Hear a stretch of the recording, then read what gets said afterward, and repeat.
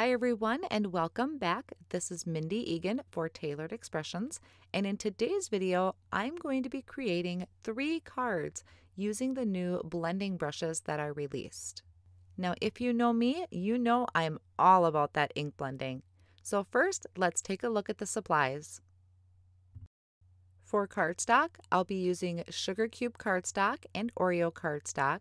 I also have the white glitter cardstock, and the stencils are the Breezy stencil and the crisscross stencil. I'll also be using the Simple Strips Crafty and Simple Strips coordinating die. I also have the Brighter Days stamp and the coordinating die, and then the heart stackables. For inks, I have Oreo, saltwater taffy, cupcake, raspberry sorbet, and mulled wine. And on my other card, I'll be using cupcake, peaches and cream, pineapple, mint julep, saltwater taffy, and lavender glaze. A few other of my supplies include the tape runner, some tweezers, an embellishment wand, and some glitter gloss, and also the Stickles glitter gel. I also have a palette knife and the Bearly Art glue, and a few other supplies along the way, including some clear drip drops. Now I'm going to be starting off with the Breezy stencil, which has a lot of lines on here. So I'm going to spray it with some Pixie Spray, which is a low-tack adhesive. I'm going to set that off on the side for a few minutes to dry. And then I'm lining up my Sugar Cube cardstock with the Masking Rectangles stencil, just lining up those etched lines. And this is going to give me a really nice white margin around my card. And then I'm putting on the Breezy stencil on top. I love layering up my stencils like this. I will take the light blue handled blending brush and I'm going to apply the saltwater taffy ink onto my background.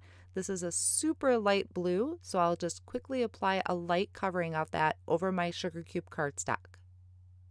Once I have that entire panel covered, I can remove my breezy stencil and also that masking stencil. Now sometimes the, the pixie spray will leave kind of a sticky residue behind. It doesn't ruin the cardstock, but an easy way to remove it is just taking one of those rubber erasers and just kind of going over that. That way it'll just take off any of that residue and it's going to leave your card nice and smooth. Then I'm going to move on to my next background. So I'm going to do all of my ink blending first and come back and make the cards at the end of the video. This one is with the crisscross stencil, which I also sprayed with Pixie Spray. And this one, I'm going to create a really, really pastel rainbow. Honestly, pastel colors are really hard for me because I like bright colors, but I do love having a brush for these light colors when I want to do an ombre effect or, for instance, this light colored rainbow. So for the rainbow colors, I am using Cupcake, Peaches and Cream, this is the pineapple, and I had to make sure to, to be real careful how I applied that ink because that yellow can be really bright. Then coming in with the mint julep, and I'll follow that up with the saltwater taffy. And then my last color will be the lavender glaze. And I'm just slightly blending into the next color so that each one has a smooth transition. Once I have all the ink blending done, I want to leave this in place. I'm going to apply that stickles on top. So I'm just taking a, a rag and I'm going to wipe off any excess ink that was on top. Leave this in place. And then I'm going to bring in that Stickles glitter gel and I believe this is in Moon Dust. And it's just a really gorgeous kind of iridescent gel and it really is a gel texture. I'll show you here in a close up.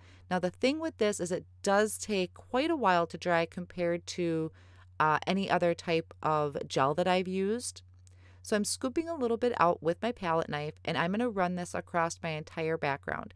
I do go back and forth and I do kind of go over the lines in the direction that they're going. I want to make sure that those lines have complete coverage all over my background. Now when I do cleanup with this glitter gel, I just wipe off my palette knife and my work surface, which is a glass media mat, and I wipe it up with a baby wipe, and the stencil cleans off real easily in the sink with just some soap and water. Now, I'm also being careful not to apply too much of this. The more you apply, the longer it's going to take to dry. So I just want a really thin layer of this. Once I'm happy with the coverage, I'm going to carefully peel away that stencil and give you a close-up look here of this gorgeous background with the pastel colors and all of that glittery goodness. Moving on to my third background, this is where having the three different colors really come in handy for your brushes. So I'm starting off with a light layer of cupcake ink, and this is using the Breezy stencil.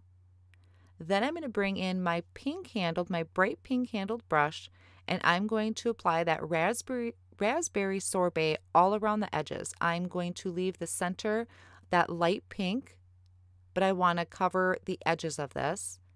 And then after I warmed up my red handled brush, I'm going to ink blend using mulled wine. So this really came in handy. I could really get the true color of ink because I had those three different color handled brushes. So it's it's just really convenient and it makes me really happy.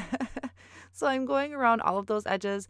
I don't want to go in too far because I still want to show the three different gradient of colors and then just carefully peel back that stencil.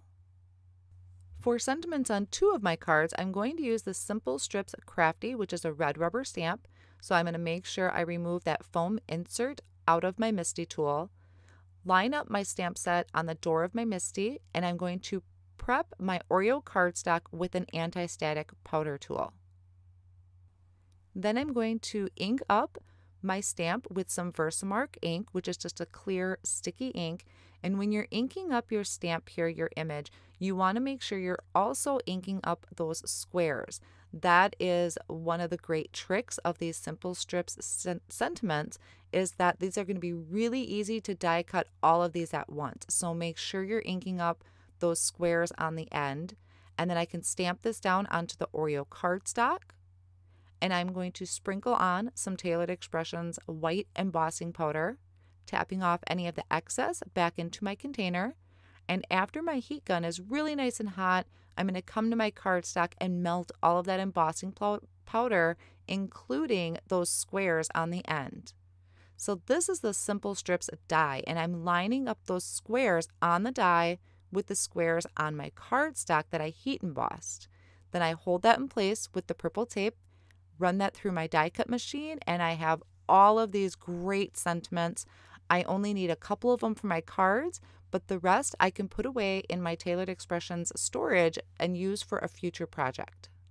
Now for the assembly of my cards, I trimmed this panel down to three and three quarters by five inches, which is my favorite size for a front panel, and I'm attaching it with a tape runner to a sugar cube panel of cardstock that's four and a quarter by five and a half so a US A2 size card front.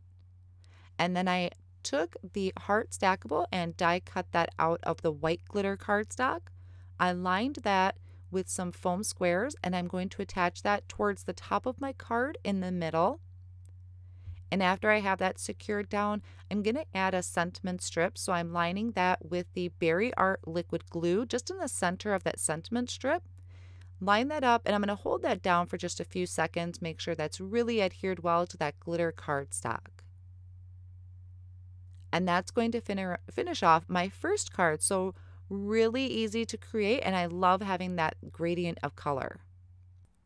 For the second card, this is my glitter gel one. I wanted to keep the focus mainly on that pattern, the crisscross pattern, and uh, the glitter gel. So I trimmed this down to the three and three quarters by five inches, added that to a four and a quarter by five and a half inch piece of sugar cube cardstock, and then I trimmed off the flag on the sentiment strip just on one end, lined that with some black foam squares, and then I'm adding that to the front of the card. And I trimmed off that end because I wanted it to be flush with the edge of my card front.